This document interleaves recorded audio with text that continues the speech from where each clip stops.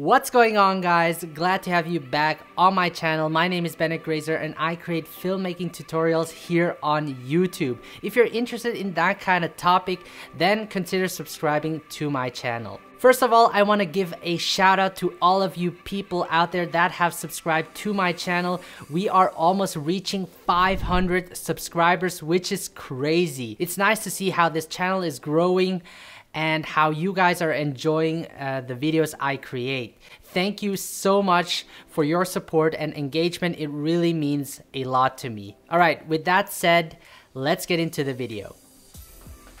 Oh, yes.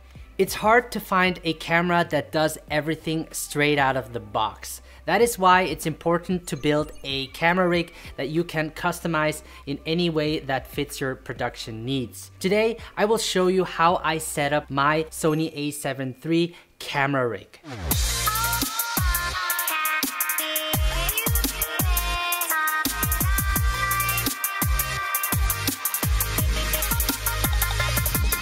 So before we start, you will find all the products in the video description below. It took me a while to build my camera rig that fits my needs. My process was to build around it and improve it over time. Not everyone has the same rig, some need it for different purposes. In my case, I do a lot of freelance work, mostly in documentary perspective, so I was looking for a camera that was lightweighted and offered a really good price for its features. With all that in mind, I went with the Sony a7 III. There is a good reason why I picked the Sony a7 III. If you haven't seen my ultimate Sony a7 III setup, I will leave a link up here. The Sony a7 III is a full frame mirrorless camera that has the capability to shoot uncropped 4K in 30 frames per second and 1080p in 120 frames per second. It has a really good autofocus and does really well in low light situations. On a shoot, the battery life lasts almost for a day. It's small, compact, and very lightweighted.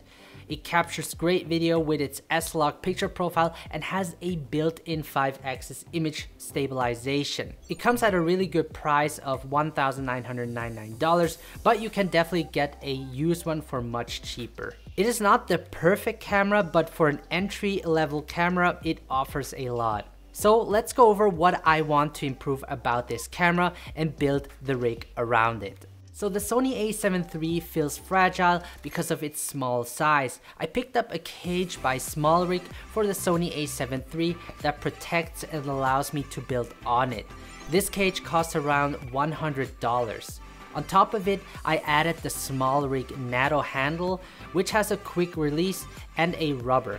On the handle, I attached a SmallRig monitor holder. With this, you can attach large monitors to it. Now, the screen of the Sony a7 III is small, it's around 3 inches, it's not very bright, and it doesn't have certain features that monitors have like false color or vector scopes that I find really useful.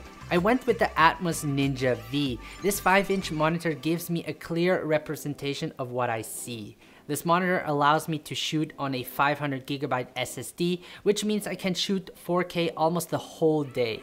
With the Atomos Ninja V, it adds even a second audio channel with another 3.5mm jack, which allows to record on two separate channels, which is huge.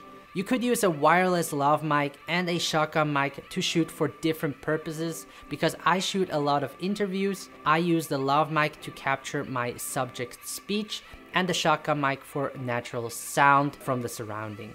The shotgun mic is mounted to a extended rosette.